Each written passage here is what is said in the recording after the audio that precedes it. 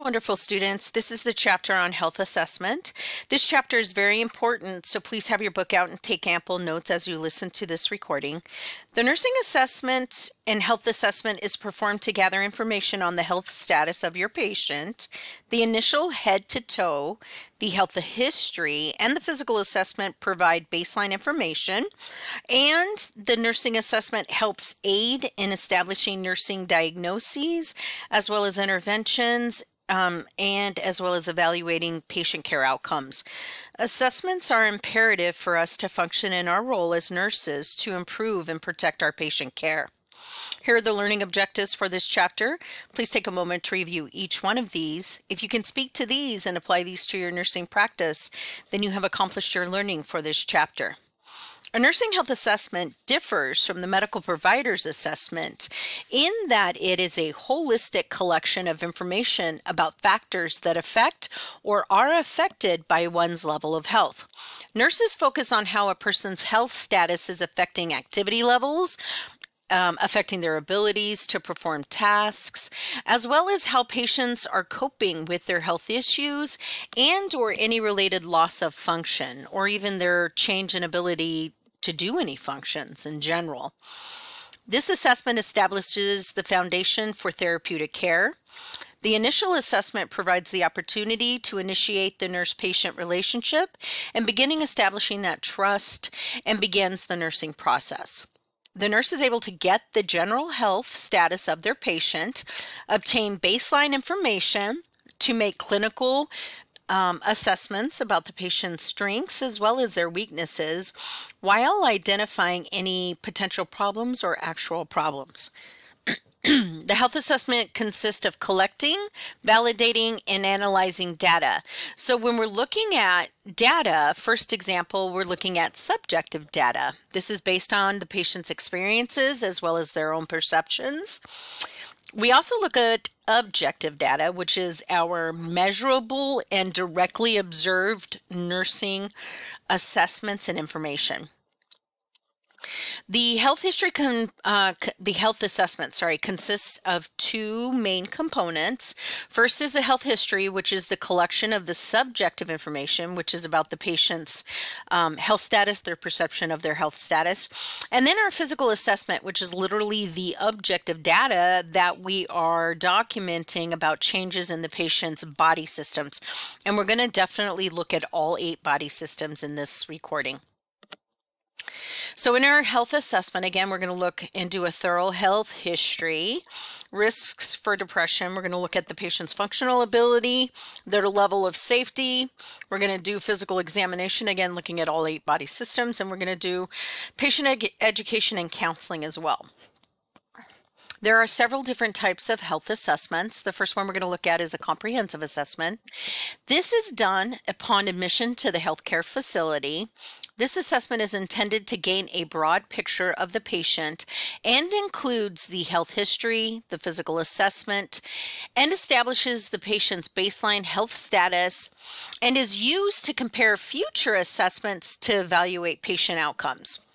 The ongoing assessments are conducted throughout the patient's stay at regular intervals. For example, every nurse at the start of their shift will do a full head to toe assessment um, and then we also, you know, we do that so that we can monitor and identify as early as we can any kind of positive changes in our patient, any kind of areas of concern or negative changes in our patient, right? Since we got report. A focus assessment is done to assess a specific problem. We do focus assessments on the unit when a patient comes up from the floor from surgery. The first assessment is done to establish the patient's condition post-op. Remember, you know, when anybody goes post-op, there's always a risk for certain complications post-op like bleeding or hypovolemia or potentially you know um, neurostatuses from the anesthetics or pain medications that they get right in surgery or in the PACU those kinds of things right um, so when a patient comes up post-op we're going to be doing looking at you know doing specifically an abdominal let's say the patient came up for example from an abdominal surgery we're going to do an assessment of the area look for and we're going to be looking for what's called shadowing this is the wound secretions that soak through the dressing itself, right? So if we see some shadowing occur, there we do expect some bleeding, right? But it shouldn't be significant bleeding. We'll come back through again and reevaluate uh, to make sure again that it's not excessive bleeding. Excuse me. Another example of a focus assessment is when you walk into a patient's room and they're complaining of having shortness of breath. The nurse would assess the oxygen saturation levels, listen to the lungs. Um, when doing the focus assessment, you're focusing on the area that the patient is having a specific problem with or potential problem with, right? Okay. An emergency assessment is a rapid, focused assessment addressing a life threatening or unstable condition or situation, right? So, for example, if a patient comes into the emergency room and they got stung in the face by a bee and their airway is closing because they're having an anaphylaxis type 1 hypersensitivity reaction to that bee sting, right? And we're, of course, going to be most concerned with ABC, airway breathing circulation, right? First. So, um, we're going to address that issue first, and then we'll address anything else that's going on with the patient, right? Um, again, if your patient comes up from surgery and is bleeding all over the bed, you're more concerned about what's, you know, where's the source of the bleeding. And then once you find it, applying pressure and stopping the bleeding, and less concerned about their drowsiness or even shallow breathing from pain, pain medications they got in the PACU, right? Um, this actually happened to a patient um, on our floor. The patient had abdominal surgery, and the surgeon placed a wound vac system, um, you know, over the incision site. However, the wound vac system couldn't keep up with the amount of bleeding that was occurring with the patient, and the patient's wife called um, the educators peer nurse that was the patient's nurse into the room and the bed was soaked with the patient's blood. So the nurse came for the patient applied pressure to the wound while um, the other nurse called the surgeon and the patient went immediately back into surgery. So that's why we watch our patients really closely um, especially if they're coming up post-op right Okay, some considerations when performing health assessments, obviously lifespan considerations. We're going to look at the patient and based on where they're at in the lifespan, there should be certain thresholds met or certain things that uh, where they should be, right? So we're going to look at that. We're going to definitely look at cultural and spiritual Con- considerations and sensitivity. Obviously preparing our patient 100% for whatever you know procedure or or surgery or treatment plan whatever that looks like. Environmental preparations as well as current and past diagnoses those all come into play. Uh, preparing the patient for physical assessment. So assessment of your patient happens the minute you walk into a room literally before you even open your mouth you're already starting to assess their um, alertness right and then when you start talking to them you're assessing their neurostatus and on right so before you try to gain a complete health history or ask the patient about medications they take at home be sure that they're cognitively you know, uh, cognitively connected enough to be able to answer those questions, right? So, for example, if your patient has dementia, then you really can't get a health history from them, right? Because you can't trust the source due to the disease process. So, um, also think about timing when you go to do, you know, your physical assessment if your patient's in pain, does it make sense that you would medicate them first and then come back, right? Because you want to make sure that uh, you have their full attention, right? So medicate them, come back in 20 to 30 minutes um, once the pain medication has had time to take effect, right? To do the physical assessment.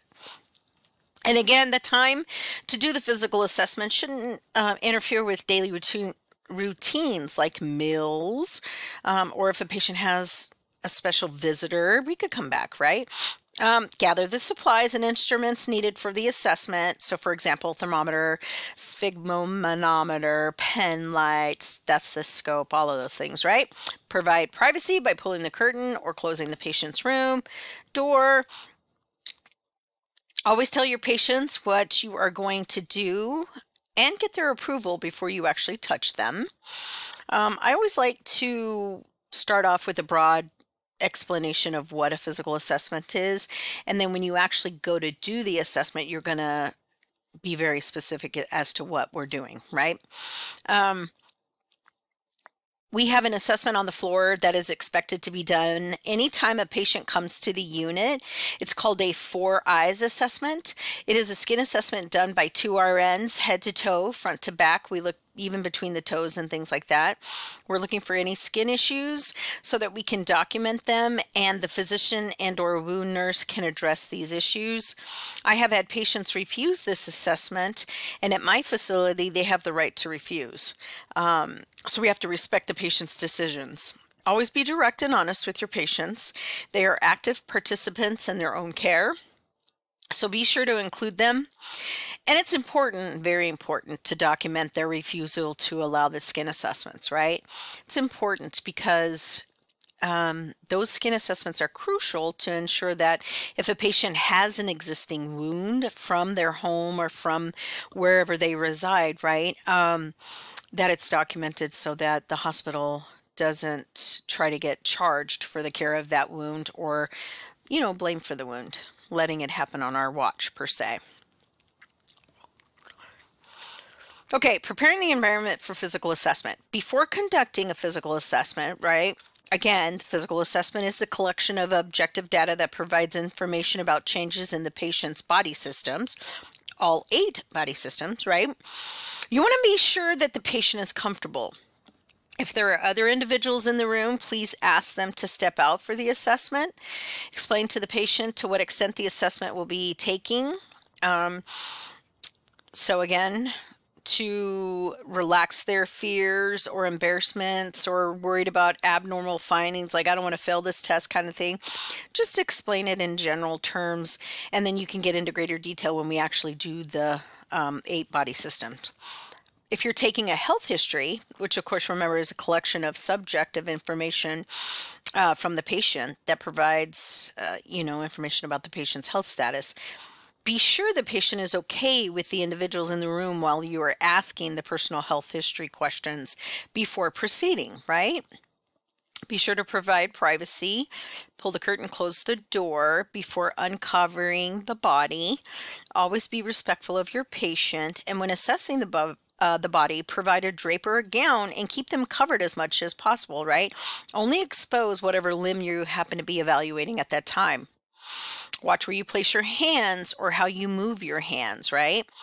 We're going to discuss this more in detail in lab and give techniques while demonstrating a physical assessment. Please see your fundamentals book for more information on documenting a health assessment. The equipment a nurse will have during a physical examination includes a stethoscope to listen with, thermometer and blood pressure cuff to obtain vital signs, a scale to weigh your patient, and a measuring tape for measuring wounds or swelling limbs, a pen light, and a watch with a second hand. For lab, you're going to need your stethoscope, pen light, and a lo- and a watch with a second hand that doesn't, uh, you know, that stays lit for multiple minutes at a time, right? So it doesn't you don't lose the screen after a couple like a minute or two. It has to stay on. Uh, positions during your physical ex- assessment. While the patient is standing, you can assess gait and balance. This is a good indication of your patient's mobility. Have them walk for you. If they use a mobile a mobility device, have them show you how they use it to assess proper use of the device itself. If your patient can sit up, it is always best to have them do so when assessing the lung sounds. When auscultating and palpating the abdominal sounds, have your patient lying in the supine position. Considerations when performing health assessments. Information is collected during an interview with your patient and remember the patient is the primary source of data. The patient's family members, caregivers, friends, etc., may also be an important source of data, especially in the situations where we just explain, you know, if they have dementia or even if the patient's unconscious because they were in an accident, whatever that may be like, right? They can sometimes offer insights that cannot be gained from patients who may be acutely ill, maybe in pain, maybe cognitively impaired, etc. Nurses need to balance the benefits of obtaining information from family members, friends, caregivers with the potentiality of conflicting motivations of the patient patients, families, and caregivers, right? The health records of the patient, if available, can also be used to collect additional information about what's happened with your patient in the past. Nurses should know and be sensitive to cultural differences that influence how both verbal as well as nonverbal communication is um, presented as well as interpreted. So be careful. Many times pe- people don't intend to come across the way you're the way we are reading them right? It's just a cultural thing. So don't uh, try not to be so judgmental in those kinds of things right? I know it can be hard right? But just try. Um, the nurse is in a dependent role during this time as the nurse is following the verbal direction of the um, APP. So we're looking specifically at nurses' roles in diagnostic procedures. So again, the nurse is in a dependent role during this time because they're getting directions from the advanced practice uh, practitioner, right? APP, advanced practice practitioner. So that literally means a PA, an NP, or a doctor, right? An MD. Um, so we're going to assist before, during, and after diagnostic tests. We're going to complete the testings as described. Our uh, job will be to witness the patient's consent. We've talked about this in pretty detail in class, but remember, when you wit- witness the patient's signature on a consent form, um, if they have any questions about the procedure or surgery, you're going to call down the surgeon doing the procedure, right? And have them go over it. Our job is just to witness the signature and make sure the patient doesn't have any questions. Schedule the test, prepare the patient physically and emotionally for the test, provide care and teaching after the test, dispose of any unused equipment, and transport any specimens that were collected during the test. Factors to assess during a health history. So much of the biological biographical data may already be in the patient's chart by the time the RN comes in to collect information. However, if it is missing, we need to fill it in. Be sure to identify the patient's primary language as you may need an interpreter from the facility, not a family member, to explain medical procedures or help with the health history. Many patients who are bilingual may need information interpreted in their primary language language to gain comprehension. Be sure to assess this fully as we wouldn't want someone to consent to something they didn't fully understand. It's our job as the nurse. Ask them why they are seeking care to help clarify their needs. Obtaining past medical history along with present history is important to gain a broad picture of your patient's health status. Knowing what prior surgeries the patient had is important. For example, I received report once that my patient had no history of major surgeries. However, when I completed the head to toe assessment, I discovered my patient had a colostomy. It happens, so it's always important to ask, okay? Functional health assessment is important. I can't stress this enough. You need to know if your patient has any deficits, such as weakness from a stroke or neuropathy in their extremities, anything that could compare uh, that could impair their mobility or impair their ability to feed themselves. Right? I've had patients on the unit that had uh, that no one knew they couldn't feed themselves for the first full day they were in the hospital. Right? So please don't let this happen. Know your patients as well as their limitations. Okay. Techniques for gathering physical health assessment data are inspection, palpation, and auscultation. Inspection of the patient. So you're going to inspect each area of the body for size, color, shape, position, movement, symmetry, right? So we're going to compare one side with the other. Um, let's see. You are looking for any abnormalities.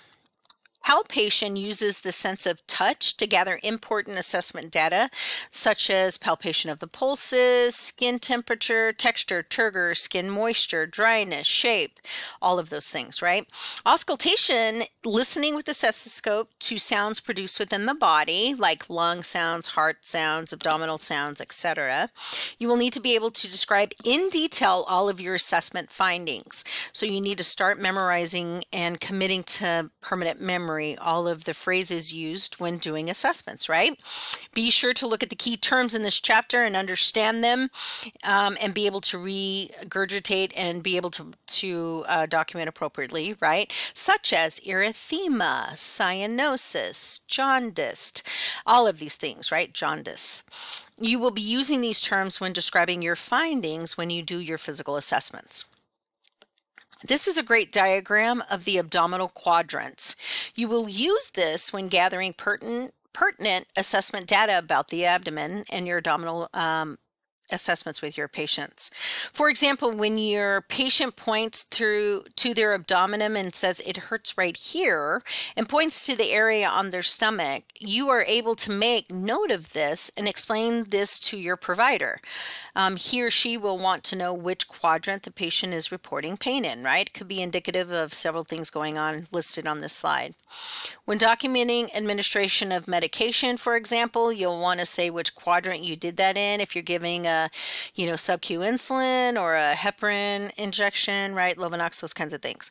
Um, you will definitely want to document you know which quadrant the injection was given in and you want to always rotate your sites when doing injections Characteristics of sounds heard when you're auscultating. So when describing sounds auscultated, you will always note pitch, loudness, quality, and duration, all four. Again, when describing sounds auscultated, you should note pitch, loudness, quality, and duration. So pitches ranging from high to low. Loudness is ranging from soft to loud. Quality, for example, would be gurgling, swishing, and then we have duration, of course, short, medium, or long. Okay. General survey. Okay, the general survey is the first component of the physical assessment, beginning with the first moment of patient contact and continuing through the nurse patient relationship. The general survey contributes to the overall impression of the patient. It includes observing the patient's overall appearance and behavior, taking vital signs, measuring height, weight, waist circumference, calculating the body mass index or BMI, looking at um, your um, ratio of weight to height, right? I want you to uh, pause and take a moment and review the step by step procedure of this in your skill book. You'll need to be able to perform this as a nurse. Um, please take a look at your fundamentals book too, as there's a really good information on there on uh, a brief general physical assessment. The book describes a brief um, you know this brief assessment and the description i really really like um, and then when you walk into the patient's room and how you're going to do that Listed on this slide are the components of the head to toe physical assessment. It is called a head to toe assessment because that is literally what you're doing and should do it in an organized manner. Um, we are going to start at the top of the person's body and assess from the head, front to back, then all the way down to the toes. First, we are going to introduce ourselves, explain to the patient what we are going to do, get their consent approval to do it, and then do it. Then we provide privacy, wash our hands, identify the patient with two identifiers. So we're going to check the patient's armband while looking at the medication administration record. We will be going over this in detail in lab again. Our assessment data comes from touching, listening, and palpating the person's body head to toe. Again, we're going to go into spe specifics on these assessments in the upcoming slides.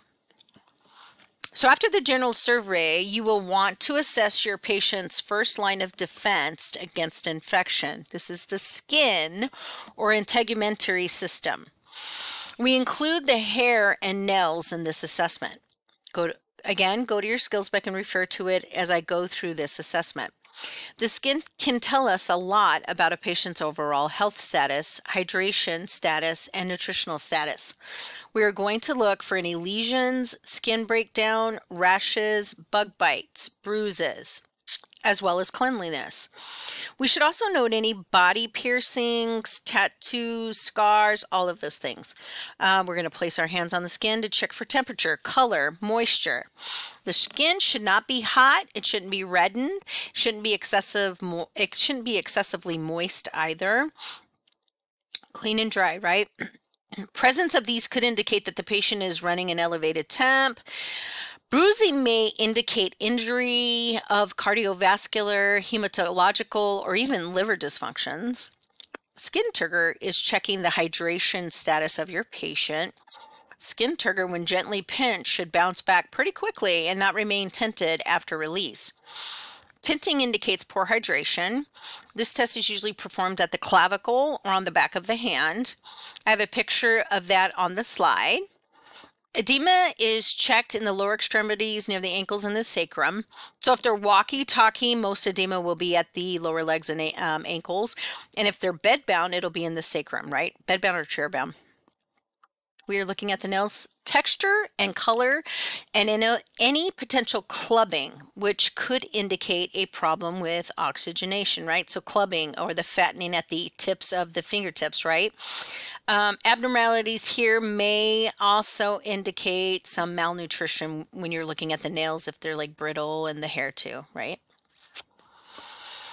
Integumentary assessment terminology, you do need to be able to uh, know all of these terms, describe them uh, you know, thoroughly. So erythema or redness. Where is it located? What is the cause? Ecchymosis or bruising. Note the color of the bruises. Petechiae or hemorrhagic spots or capillary bleeding. Um, is it on the abdomen, on the legs, right? Could be indicative of thrombocytopenia or many other things going on too.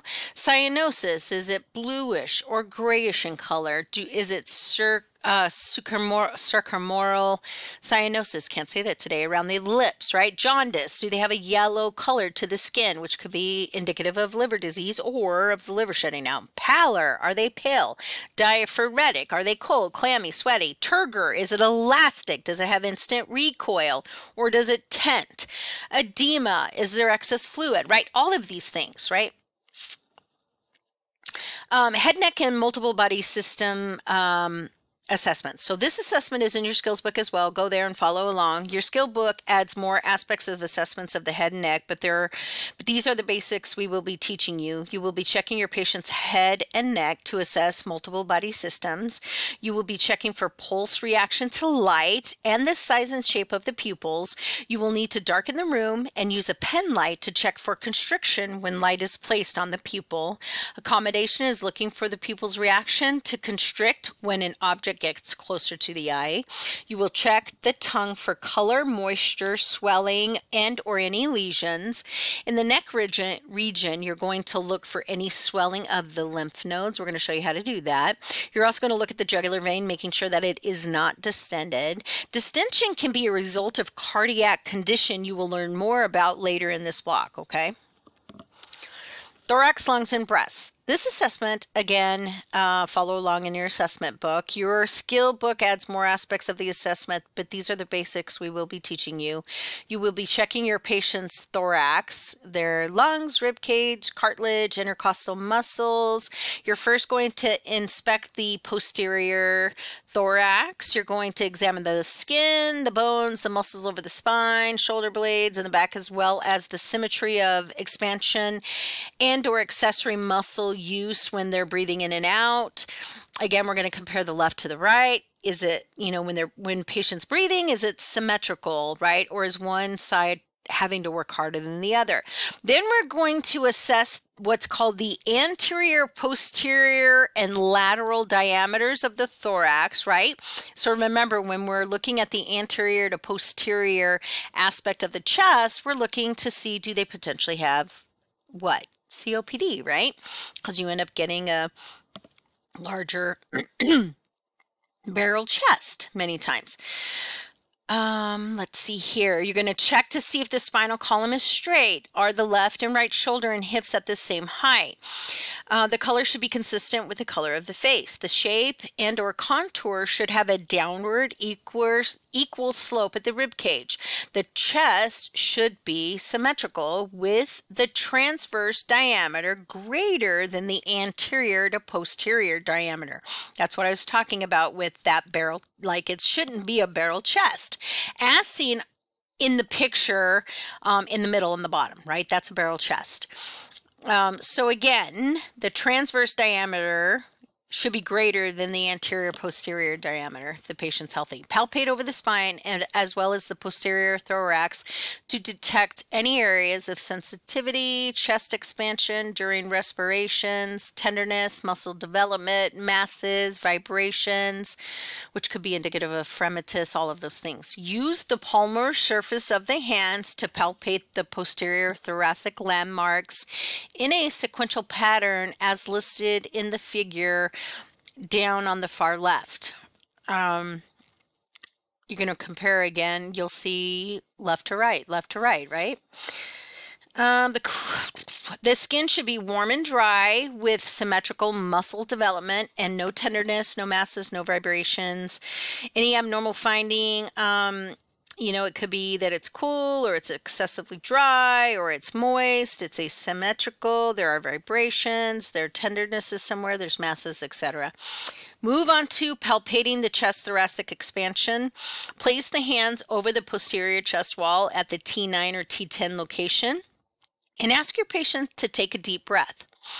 As seen in the picture on the right, observe the movement of your thumbs and hands. The, the thoracic should be symmetrical on both sides, right? On the left and right, um, as shown in the picture on the top right. Then, as the patient breathes slowly and deeply through the mouth, auscultate the lungs across and down the posterior thorax to the base of the lungs in a sequential pattern comparing again left to right. Next, inspect the anterior thorax. Rearrange the patient gown so that you're able to visualize the patient's chest. Inspect the skin, the bones, the muscles, and ensure the symmetry the symmetry of lung expansion when the patient breathes in and out. And check to see if there's any use of their accessory muscles, right? They shouldn't be using their accessory muscles to breathe.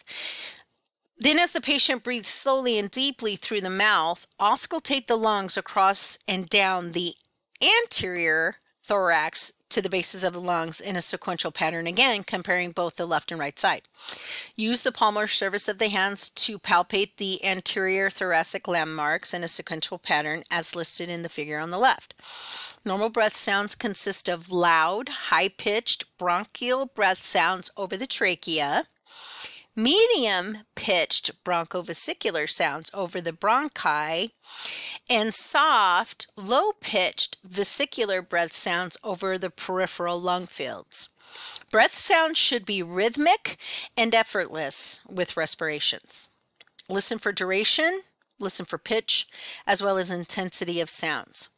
Adventitious breath sounds, which are abnormal added sounds, are not normal and typically result from air moving through moisture or mucus or even narrowed airways.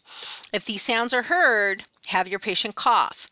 Check to see the color, consistency, and amount of phlegm and document it. Excuse me. You may need to contact the prescriber to get a sample of the mucus to send to the lab to check for infections, especially if it's dark green or, or dark yellow, um, depending upon what's happening with the patient, right? Data from a health history may elicit a health problem such as dyspnea or chest pain, as well as information about cough, sputum, and possibly sleep, sleep patterns, right? A history of smoking indicates the need to include education on means to stop smoking, and this should be included in their plan of care. Additionally, environmental exposure to certain irritants, for example, maybe secondhand smoke, or maybe they, you know, they paint for a professional painting company as their job and they're exposed to paint fumes all the time, or maybe they are, you know, they work for the state and do the air pollution testing on the car, so they're surrounded by exhaust fumes all day home builders with asbestos fibers, all of those things, right? Um, they could be exposed to these environmental exposures in the home or workplace, thus increasing their risk for respiratory diseases as well as cancer assessing the thorax and lungs. So you're definitely going to look um, look in, and evaluate your patient. Look to see if they have a history of trauma or lung surgeries. You're going to ask them questions like, "Do you use any pillows to prop yourself up when you sleep. That's going to tell you a lot, right? Do you have a coughing? Do you have chest pain? Do you have allergies? Um, do you, are you exposed to chemicals or smoke? Um, so you're going to inspect the patient's respiratory effort. Is it easy and unlabored? You're going to auscultate and and document that, and then you're going to obviously look posteriorly at the thoracic and um, you know, the chest expansion and excursion if that's occurring. Thoracic lungs and breasts. We're going to inspect the breasts. We're going to um, Have the patient rest their hands at the side of their body, then on the hips, um, and then finally above the head. With the patient holding each position, you're going to inspect the breasts for size, shape, symmetry, color, texture, and skin lesions. You're going to inspect the areola and nipples for size and shape, um, and as well as inspect the nipples for discharge, crusting, or even inversion. See the figure on the right. Um, Palpate the axilla with the patient's arms resting um, against the sides of the body. If any nodules are palpable, assess their location, size, shape, consistency, whether they're tender, whether they're mobile, like if they can move underneath, right, or are they attached. You're going to assist the patient to a supine position, place a small pillow or towel under the patient's back, and ask the patient to place a hand on the on the side uh, being examined under the head if possible, right? Wear gloves. Um, uh, just in case there's any discharge from the nipple or if you know if obviously if there's lesions you'll want to wear gloves too palpate each quadrant of each breast in a systematic method as listed on the slide um, we either use a circular or wedge or like a vertical stripe technique um, palpate the nipple and areola and gently compress the nipple between the finger forefinger and thumb to assess if there's any discharge. Lung sounds, bronch, bronchial, tubular, bronchovesicular. So again, you're going to want to know all of the different adventitious or abnormal extra lung sounds, right? So wheezes are high-pitched musical sounds. Rhonchi um, which you'll hear doctors still use and nurses like me who've been around forever, are coarse crackles. They're harsh, rumbling sounds, and they're f- typically from congestion and um, you know you it's good to have the patient cough. Rales again are is an old term. Those are the fine crackles. And these the fine crackles are more like soft bubbling sounds from you know fluid in the lungs. That's that's what it is. And then the purse so you know typically, for example, a patient may get furosemide uh, to pull that fluid off, you know, pull those fine crackles off or rales, whatever. And maybe put on fluid restrictions too. Okay, common thoracic and lung variations in older adults. So, as adults age, right, they do get exposure to chronic conditions, right, as well as acute, but chronic conditions over time. So there might there could be an increased anterior posterior chest diameter. We are going to talk about that. Um, pretty heavily in block one, right, and in block two, and so forth. We have we might have an increase in the uh, dorsal spinal curve or kyphosis. We might have decreased thoracic expansion. We might have a use of our accessory muscles, um, specifically to exhale, right, because you get that. Um, lung, you know, the alveoli collapsing at the end of the breath, and so it traps that CO2, right? So we're gonna, that's why we teach pursed lip breathing and all these things. So we're going to learn about that when we talk about respiratory. Um, but there are expected decreases in our older adults, you know, organ function and so forth as we age. So we'll talk about those, right? Cardiovascular assessment. This assessment, again, um, please follow along on your assessment sheet or in your book. The physical examination is used to identify signs and symptoms of heart disease and peripheral vascular disease. Adequate lighting is essential so that the RN can see the patient's skin and pulsations. Quiet environment is also necessary so that you can hear and thus get an accurate assessment of the patient's heart sounds. Assisting the patient to a supine position with the head of the, be- uh, the bed elevated to 30 to 45 degrees, right? Semi Fowlers. Um, the technique used for cardiovascular assessment are inspection, palpation, and auscultation. Necessary equipment include your sphygmomanometer, your watch with the second hand, um, and the bell and diaphragm of your stethoscope. Inspecting the extremities for color, temperature, lesions, continuity, venous patterns, and edema normally there are no rashes, no ulcers, no edema, no varicosities or venous patterns in the lower extremities. However, if the patient has peripheral vascular disease due to decreased blood flow and oxygenation issues, the skin of the lower extremities might be pale and cool or even shiny with brown discolorations, could be hairless and shiny. Um, the toenails maybe typically thickened. You might have phlebitis or inflammation of the veins um, on the lower extremities. Um, and sometimes these are painful, red, swollen, right? Sometimes at the thigh or calf. We are going to palpate the carotid artery medial to the sternomastoid muscle in the neck between the jaw and the clavicle. Palpate one at a time because if you try to palpate both carotid arteries, then you're going to make your pass your patient pass out. Um, because of the reduced blood flow to the brain, right? So be careful. Palpate one at a time. Normal finding includes equal pulses bilaterally with a strength of strength of plus two. You do need to be able to quantify um, different pulses strength. So make sure you write that stuff down from the book when you're reading through. Abnormal findings might include absent pulses, weak pulses, thready pulses, asymmetrical pulse strength, those kinds of things. You're going to palpate the neck and the precordium, use the palmar surface with the four fingers held together, gently palpate the precordium for any pulsations.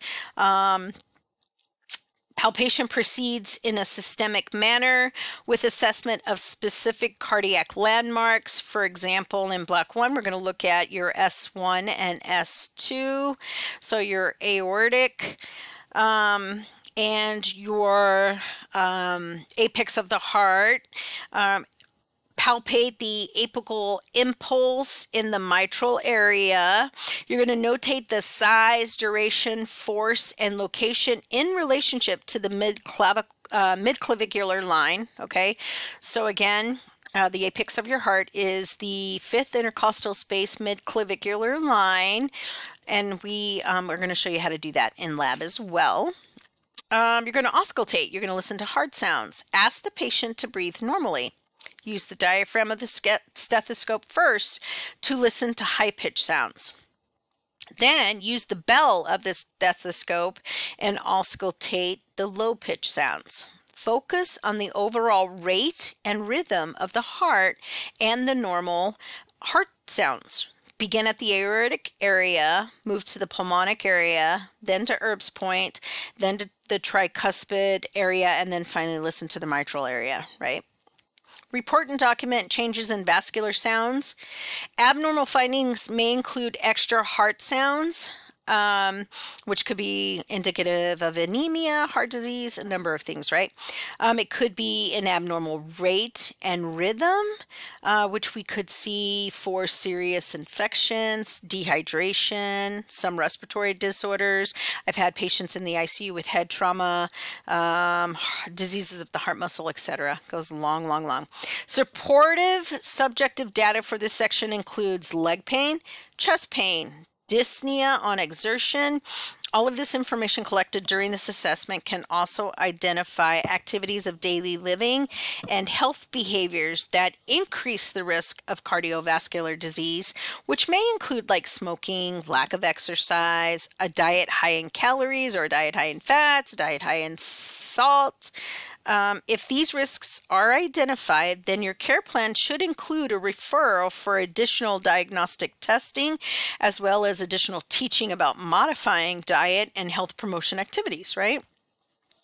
Risk factors for alter, altered health include a history of chest pain, palpitations, possibly dizziness, swelling in the ankles or feet, uh, you know, having to prop themselves up on a number of pillows at night to sleep, medications, could be personal or family history of hypertension, diabetes mellitus, high cholesterol, coronary artery disease, history of smoking, you know, how long and how many packs per day are you smoking, um, history of pain in the legs, changes in color or temperature of the extremities, history of blood clots, sores that don't heal, like you can see there are a ton of uh, factors that could be indicative of problems going on, right? Assessing cardiovascular and peripheral vascular systems. So we're going to look at risk factors, history of chest pain, history of palpitations, history of dizziness, history of swelling in the ankles or feet, um, medications the patient's taking, personal and or family histories, types and amounts of exercise that they get daily, weekly.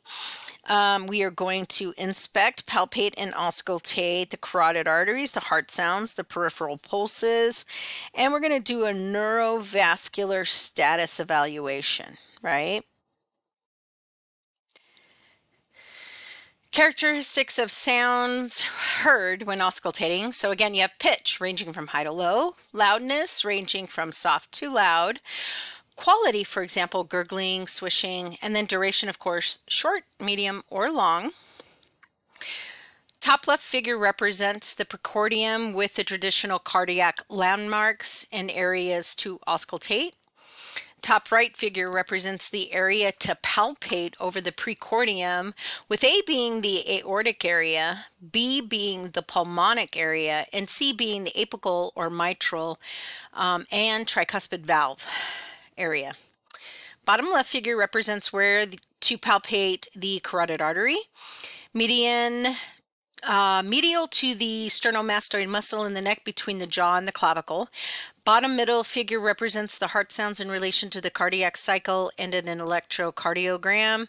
And bottom right figure is the view of the interior of the heart, showing the atrioventricular and semilunar valves responsible for heart sounds. This assessment, again, go along and follow in your book. Assist the patient in the supine position and expose the abdomen. Cover any exposed area other than the one being assessed. First thing you're going to do is inspect the abdomen for skin color, contour, pulsations. Look at the umbilicus. Um, look at the surface uh, for rashes, lesions, masses, scars, tattoos, piercings, etc. Then you're going to auscultate all four quadrants of the abdomen for bowel sounds. So warm the stethoscope and using light pressure, place the flat diaphragm um, of the stethoscope on the right lower quadrant of the patient's abdomen. Then move to the right upper quadrant, the left upper quadrant, and finally the left lower quadrant quadrant. You're going to move um, this way because that's how the bowels move, right? So again, right uh, lower, then right upper, then left upper, then left lower. Listen carefully for bowel sounds, so you're listening for those gurgles and clicks, and note their frequency and character. Um, you're going to auscultate the abdomen, uh, the abdomen again for vascular sounds. Use the bell of the stethoscope. Auscultate over the abdominal aorta, the femoral arteries, and the iliac arteries, and you're going to listen for bruits. Palpate the abdomen lightly in all four quadrants. The pads of the fingers are used to palpate with a light, gentle dipping motion, about a half an inch. Watch the patient's face for nonverbal signs of pain during palpation. You're going to palpate each quadrant in a systemic manner, noting any muscular resistance, um, any tenderness, enlargement of the organs, masses. Um, again, you're going to do right lower, right upper, left upper, left lower in that order. You're going to notate if the patient complains of pain or discomfort in any particular area. Um, and then if they do say before you even palpate that they are having tenderness, palpate that area last, okay? Um, so palpate and then auscultate the femoral pulses in the groin, note the strength of the pulses, and grade it as you do with the peripheral pulses. Abdominal assessment. Um, you're going to identify risk factors, right? Like abdominal pain, indigestion, nausea and or vomiting, change in bowel habits, their appetite, alcohol ingestion, menstrual history, um, all of those things. And then common abdominal variations in the older adult.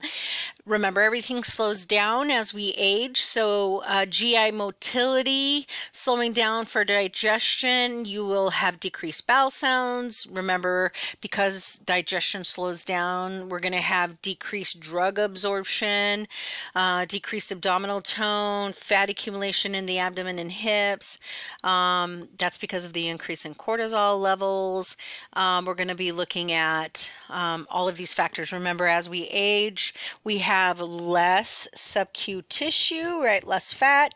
So um, that's why the elderly are cold all the time, right? Uh, many times because of the loss of heat through the skin, uh, because of the lack of subcu tissue, all of these things, right?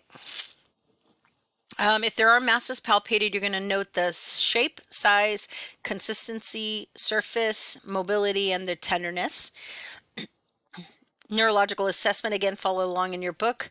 Um, assist the patient in the supine position. Begin with surveying of the patient's overall hygiene and physical appearance. Assess the patient's mentation status or their mental status. You're going to evaluate their level of consciousness. Evaluate their orientation to person place and time. You're going to assess their memory their immediate memory. You're going to assess their uh, short-term memory and you're going to assess their long term memory, evaluate the patient's ability to understand spoken and written word, um, you're going to test the patient's cranial nerves, um, ask the patient to close uh, the eyes. You're going to occlude one nostril and then identify the smell of different substances like coffee, chocolate, alcohol. Repeat with the other nostril. You're going to test the patient's visual acuity and pupillary constriction. You're going to move to the patient's eyes. Um, you're going to do the six cardinal positions of gaze. You're going to ask the patient to smile, frown, wrinkle their forehead and puff out their cheeks. You're going to ask the patient to protrude their tongue and push against the cheeks with their tongue. You're going to palpate the jaw muscles, ask patient to open and clench their jaws, stroke the patient's face with a cotton ball and ask them if they feel that. You're going to look for the nerve movement as well. You're going to test their hearing with a whispered voice test. You're going to put on gloves, ask the patient to open their mouth while observing the soft palate. You're going to ask the patient to say ah, observe observe upward movement of the soft palate. You're going to test the patient's gag reflex by touching the posterior pharynx with the tongue depressor. Explain to the patient that this may be uncomfortable before you do it. Ask the patient to swallow, and then when you're done with all that, you're going to remove the gloves. Assessing the neurological system. So we're going to look for risk factors like does the patient has a has a history of numbness, tingling, seizures, trembling, headaches, dizziness, trauma to the head or spine, history of hypertension, history of stroke. Do they have any changes in their vision? Changes in hearing, changes in taste or smell? Do they have a history of diabetes or cardiovascular disease or alcohol or medications that could cause changes, right? Um, Continuing on with the neurological system, we're going to look at the health history interview, their mental status review, their memory, right? Immediate, short term, long term, the emotional status of the patient. Do they have any cognitive, um, cognitive uh, gaps, um, behavior, cerebral function, motor skills, coordination, balance, cranial nerve function, uh, motor function, sensory function. How are their reflexes? You're going to look at all of that, right?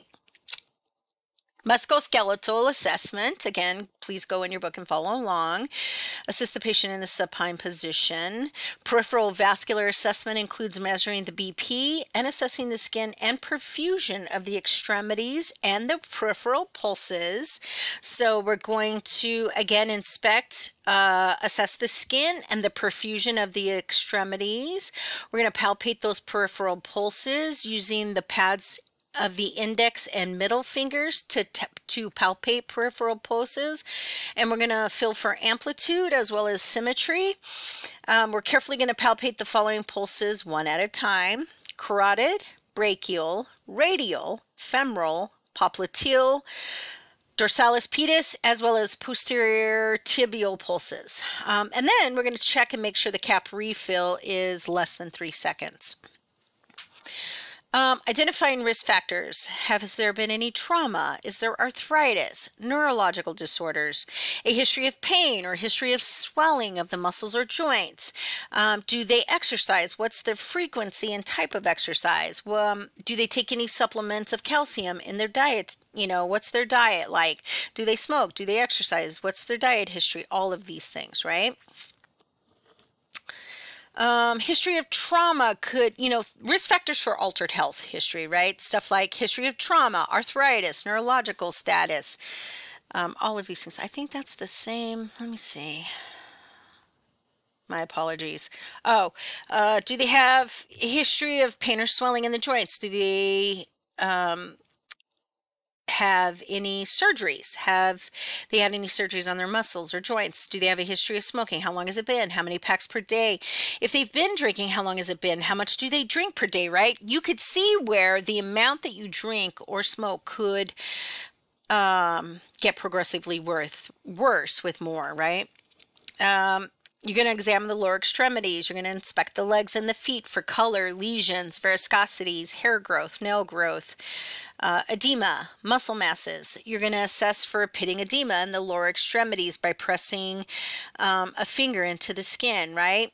Um, and at the pretibial area and dorsum of the foot if the you know if it remains in the skin after the fingers have been removed pitting, pitting edema is present you're going to palpate for pulses and skin temperature at the posterior tibial dorsalis pedis and popliteal areas so again you're going to palpate for pulses and skin temperature at the posterior tibial, dorsalis pedis, and popliteal areas. You're going to assess the pulse rate, the quality, and the amplitude and rhythm. And you're going to test for cap refill, make sure it's less than three seconds. Ask the patient to move one leg laterally with the knee straight to test abduction, ABD, abduction of the hip. Keep knee straight, move leg medially to test adduction, ADD, adduction of the hip. You're going to repeat with the other leg. Ask the patient to raise the thigh against the resistance of your hand. Next, have the patient pushed outward against the resistance of your hand. Then have the patient pull backward against the resistance of your hand. Repeat on the other side. Ask the patient to dorsiflex and then plantar flex both feet against opposing resistance. Ask the patient to do a standing position. Observe the patient as he or she walks with a regular gait on the toes, on the heels, or is it on the heel then the toe like how do they walk you're going to perform the romberg test ask the patient to stand straight with their feet together both eyes closed with arms at their side wait 20 seconds and observe for patient swaying and their ability to maintain their balance be alert to prevent patients uh, from falling or any kind of injury, right? Uh, because they may lose their balance, right? And then assist the patient to a comfortable position. Common thoracic and lung variations in older adults. The chest should be symmetric with the transverse diameter greater than the anterior posterior diameter. And, um, and if there is an increased anterior posterior diameter, this is typically seen with chronic lung diseases. We describe this as a barrel chest, okay? Abnormal findings include the following an increase in chest size, an increase in chest contour, abnormal breathing patterns with the use of accessory muscles, for example, symptoms of respiratory disease such as chronic uh, obstructive pulmonary disease, um, or it could be asthma. Unequal chest expansion may occur in like chest trauma or even pneumonia, abnormal respirations.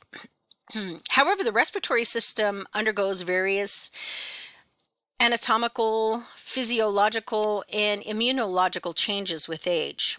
The structures change um, the structural changes include the chest wall and thoracic spine deformities, which impair the total respiratory system, um, you know, being compliant, leading to increased work of breathing for our patients, right? Respiratory muscles, um, their strength decreases with age and can impair a patient's ability to effectively cough, which of course is important for airway clearance, right? I encourage you to look online. There are some great resources for listening to adventitious lung sounds to gain a better understanding what to look for when you're listening for abnormal lung sounds. Um, also, look at your fund- fundamental book as there are some great adventitious breath sounds and explanation of breath sounds in there. And remember, you have Stedman's um, in your Lippincott resources as well. Common cardiovascular and peripheral vascular variations in the older adult important changes occur with these systems uh, with advanced aging um, and can be even apparent in healthy individuals. So we have over time thickening and stiffening of the large arteries.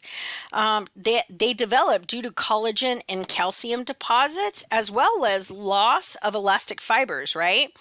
And these arterial changes cause your systolic blood pressure to rise with age, while diastolic blood pressure uh, generally declines after about the age of 60.